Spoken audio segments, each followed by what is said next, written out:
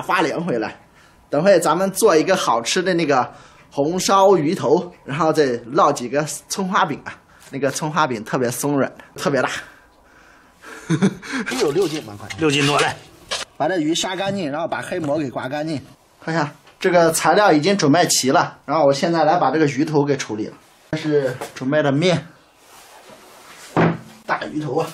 哎呀，哇，大这个东西，我爸说还有十几斤的那种，今天没买到。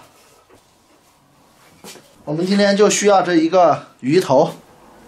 看，从那个鱼的背部下刀，然后把鱼头给劈成两半，然后现在再给洗一下，然后放点葱，放点姜，然后再放点料酒，给抓一下，给这鱼头腌一下。我们来处理这个葱花饼的面，然后准备白面，然后用开开水给烫一下，然后在小勺里面加一点点盐。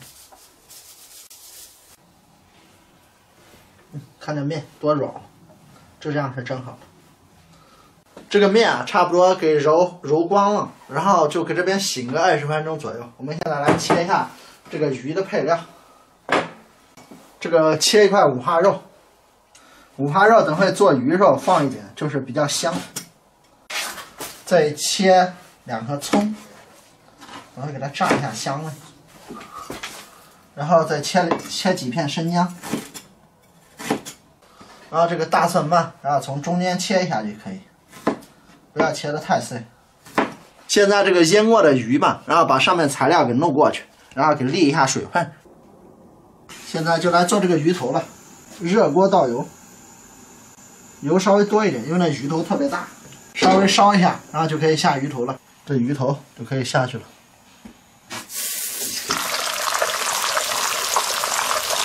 稍微放弄一下。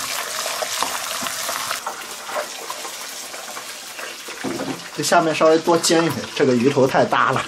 鱼头一面煎透以后，给它翻过来煎另一面。然后这个煎鱼不破皮那个小技巧嘛，就是鱼身一定要干，然后锅里面可以弄生姜擦一遍。这个鱼头已经煎好了，然后现在就可以给盛出来了。锅热，少倒一点点油，把这个五花肉然后给放进去。花肉油给炒出来以后，然后颜色焦黄了，然后给盛到那鱼一边，等会待用。那个五花肉挑出去以后，把葱姜蒜放进去炸香，一小勺，然后这种豆瓣酱，然后小火给炒出红油。啊，放三个辣椒，啊，一个八角，然后二三十粒的花椒。我们这边，然后朝里面加入开水。我们现在来调一下，等会那个鱼那个料汁。两勺生抽，呃，半勺老抽，一勺料酒，再来一点蚝油，蚝油烧这个鱼比较鲜，来个小半勺就行，点点盐，其他材料里面盐已经够多了，啊，半勺那个陈醋，黄豆酱，来个半勺，然后半勺白糖，水已经开了，然后这时候就把鱼头放进去，这料汁给放进去。盖上盖子，然后差不多中火给煮个二十分钟了。这个面团醒的差不多了，给这个面嘛，然后均匀的拽成几个小段。这面团吧，然后给擀成长条，然后擀平以后啊，然后抹上一层油，抹上放上这个葱花，从一头给叠起来，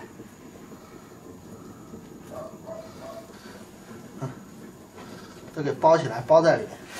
好，看一下，一张普通的那个葱花饼就做出来了。然后，饼铛预热，差不多上下两面，然后加热个三分钟左右。鱼差不多煮了有二十多分钟了，啊，这时候就给盛出来了。这鱼头啊，香气扑鼻啊！撒上点葱末，然后放两根香菜。这个饼啊，然后现在给切一下。那个饼我给切一下放进去，然后这边还有两块饼。红烧鱼头饼啊，嗯，我跟我爸两人在家吃的贼爽，大家如果喜欢嘛，你看可以照着试着做起来。小溪也是第一次做这个葱花饼的，特别简单，你看好多层。